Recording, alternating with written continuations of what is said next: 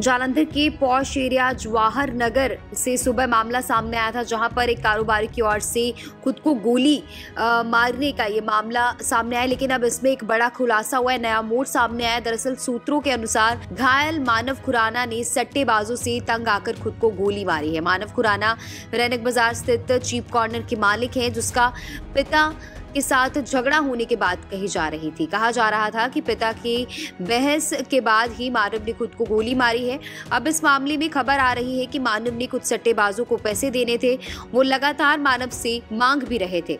यहाँ तक कि सट्टेबाज सुबह घर भी आए थे लेकिन ना दिए जाने के कारण मानव की ओर से खौफनाक कदम उठाया गया है। ये भी पता चला है कि कुछ सट्टेबाज अस्पताल के बाहर भी देखे गए हैं जो कि पूरा अ, मामला पिता के सिर पर डालने की प्लानिंग कर रहे हैं। उधर डॉक्टरों का कहना है कि गोली तो दिमाग से निकाल ली गई है लेकिन मानव की हालत अभी भी नाजुक है फिलहाल इस पूरे मामले की जांच की जा रही है आप भी डालिए इस पूरे मामले पर एक ਹਾਂ ਸਰ ਕੋਈ ਲੱਕੀ ਮਾਮਲਾ ਕੀ ਅਹ ਸਾਡੇ ਕੋਲ ਸਵੇਰੇ ਅੱਜ ਐਮਰਜੈਂਸੀ ਵਿੱਚ ਪੇਸ਼ੈਂਟ ਆਇਆ ਬੁਲਟ ਇੰਜਰੀ ਦੇ ਨਾਲ ਪੇਸ਼ੈਂਟ ਦੀ ਹਾਲਤ ਜੋ ਸੀਗੀ ਬਹੁਤ ਗੰਭੀਰ ਸੀਗੀ ਤੇ ਰਿਸ਼ਤੇਦਾਰਾਂ ਨੂੰ ਸਾਰੀ ਅਸੀਂ ਉਹਨੂੰ ਸਮਝਾਇਆ ਕਿ ਪੇਸ਼ੈਂਟ ਦੀ ਹਾਲਤ ਹੈ ਔਰ ਫਿਰ ਸਰਜਰੀ ਦਾ ਡਿਸੀਜਨ ਲਿਆ ਸਰਜਰੀ ਕਰ ਦਿੱਤੀ ਗਈ ਹੈ ਬ੍ਰੇਨ 'ਚ ਕਾਫੀ ਬੜਾ ਕਲੌਟ ਸੀਗਾ ਉਹ ਵੀ ਕੱਢਿਆ ਗਿਆ ਹੈ ਔਰ ਜੋ ਬੁਲਟ ਸੀਗੀ ਉਹ ਵੀ ਅਹ ਹਜੇ ਪੇਸ਼ੈਂਟ ਦੀ ਹਾਲਤ ਗੰਭੀਰ ਹੈ ਜੀ ਤੇ ਹਜੇ ਆਈਸੀਯੂ 'ਚ ਹੈ।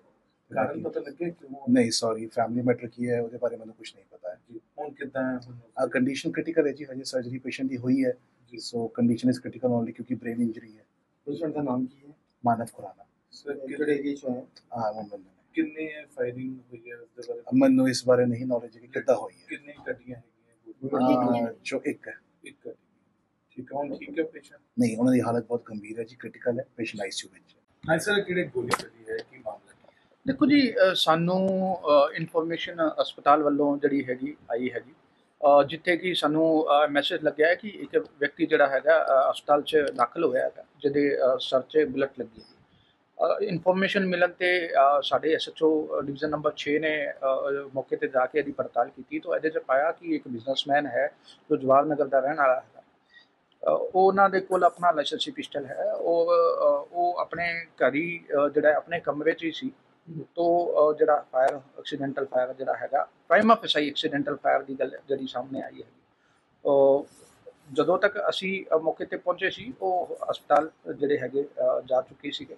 ਹੁਣ ਉਹਨਾਂ ਦਾ ਹਸਪਤਾਲ 'ਚ ਇਲਾਜ ਚੱਲ ਰਿਹਾ ਹੈ। ਬਾਕੀ ਅਸੀਂ ਜਿਹੜੀ ਫਰਦਰ ਤਫਤੀਸ਼ ਅਸੀਂ ਕਰ ਰਹੇ ਹੈਗੇ, ਜਿਹੜੇ ਵੀ ਨ- ਨਵੇਂ ਤੱਥੇ ਥਾਂ- ਸਾਹਮਣੇ ਆਣਗੇ ਬਾਕੀ ਅਸੀਂ ਜਿਹੜੀ ਅਗਲੀ ਪੁੱਛਗਿੱਛ ਕਰਕੇ ਜਿਹੜੀ ਅਗਲੀ ਕਾਰਵਾਈ ਹੈ ਅਮਲ ਵਿੱਚ ਲਿਆਂਗੇ ਸਰ ਕਾਰਨ ਕੀ ਹੈ? ਕਿਉਂ ਦੇਖੋ ਜੀ ਐਜ਼ ਆਫ ਨਾਓ ਮਤਲਬ ਅਸੀਂ ਇਸ ਚੀਜ਼ ਨੂੰ ਨਹੀਂ ਦੱਸ ਸਕਦੇ ਕਿ ਵੀ ਕੀ ਹੈਗਾ। ਅਸੀਂ ਖੁਦ ਵੀ ਇਸ ਚੀਜ਼ ਸੰਬੰਧਿਤ ਤਫਤੀਸ਼ ਕਰ ਰਹੇ ਹਾਂ ਜੀ।